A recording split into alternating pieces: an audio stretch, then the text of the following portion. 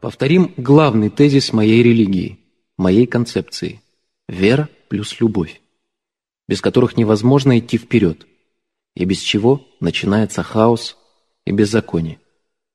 Любое общество на Земле имеет свод своих законов, чаще всего окрашенных национальным колоритом и подготовленных на базе национальных традиций. Но несовершенство их во всех случаях приводит к неразберихе в обществе, нарушению их и попиранию прав большинства меньшинством. Вот к чему приводит желание создать общественный порядок на базе собственных представлений и традиций родов. Прежде всего, глубокая ошибка использовать вековые традиции данного рода или народа. Дело в том, что традиции эти рождались в древние времена отсутствия морали и присутствия тирана, когда сильный всегда прав. Традиции на этом фоне всегда поддерживали власть, иначе говоря, власть поддерживала эти традиции и естественный свод законов, перераставший в традиции ради укрепления этой власти. Использование этих традиций в новом, современном своде законов – глубочайшая ошибка и несправедливость. Зачем то, что угнетало и делало людей рабами, причем послушными рабами, брать за основу построения современного общества? Это неверно. Это пагубно. В этом обществе не стоит ждать прогресса. Все кончится коллапсом. Писать законы не на традициях, а по собственным предположениям – это тоже тупик. Какие могут быть предположения? Во-первых, люди все равно используют исторический опыт своего рода или опыт других родов, то есть пытаются создать правила игры на завтра, используя вчера. Во-вторых, о каких предположениях идет речь, на чем основаны они и кто пишет их? Если пишет правящий класс, то получается свод законов, направленный на поддержание своей власти с более или менее значительным диапазоном свобод для большинства рода.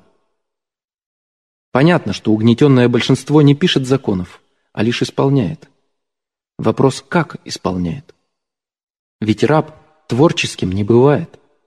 Он делает не свою работу, он работает не для себя. Если же пишут свод законов рабы, то не миновать революции. То есть опять ломка нарушения традиций, связей родов и опять ради кучки рабов, которые возглавляют этот разрушительный процесс.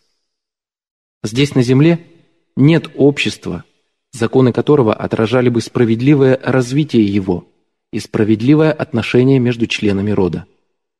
Государства, проповедующие шариат – грешат насилием, хоть и поднимают религиозный флаг. Хотим мы или не хотим, но вывод всегда печален. Все, что человечество пыталось выстроить в систему взаимоотношений родов или членов рода, все натыкалось на тупик, приводящий к войнам и гибели людей и империй. Любые империи не вечны. Масштабы другие, отношения родов. В этом случае рабами были не люди, а рода. Основа же одна и та же – правящее меньшинство и огромное количество рабов. В современных общественных системах развитых стран придумали понятие «средний класс». Что такое средний класс?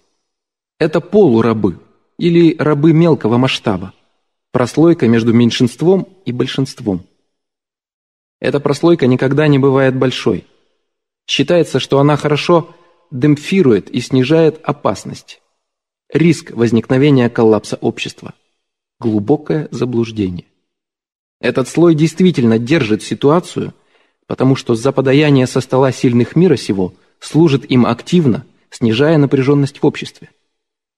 Но процесс этот не вечен, и прослойка жиреет и переходит в слой сильных мира сего, либо наоборот, переходит от безысходности в стан большинства, в стан рабов. Такое расслоение прослойки среднего класса чревато осложнениями в обществе, потому что процесс расслоения есть процесс нарушения равновесия хозяин-раб. Поэтому какие бы легенды и сказки не распространялись в обществе, они не спасают его от гибели. Вопрос только один – когда? Прошедшие столетия не сделали ничего. Цвета разные, сказки разные, но основа отношений между людьми одна и та же, хотя и не такая примитивная, как раньше. Вот почему я говорю постоянно. Вы идете к коллапсу. И неважно, про какую страну я говорю. Все режимы, как бы они ни назывались, в основе своей несправедливы. А несправедливы они только потому, что в основе их не заложены законы мои, о которых говорю уже много тысячелетий. Почему я заговорил об этом так активно только сейчас? Почему я начинаю действовать? Потому что общества на Земле стали информативно едиными и независимыми от границ или ментальности нации. Все питаются одной пищей, что зовется средствами массовой информации и интернетом. Эта международная паутина оплела весь мир так цепко, что сейчас родилась возможность управлять процессом преобразований через менталитет каждого члена рода, независимо от национальной принадлежности. Я уже говорил, инструмент, который я помог людям создать, нужен прежде всего мне для реализации моих планов. В современных условиях, несмотря на то, что люди запустили золотого тельца и лукавого в эту паутину и используют ее для наживы, я могу все прервать и направить возможности паутины ради преобразования общества по моим планам. Вот почему я так уверен в успехе. Все произойдет по моему сценарию потому что любое начинание людей без меня и моей помощи будет с плохим концом. Только временной порог разный. Глупые правления кончаются в одночасье и лопаются, как мыльные пузыри.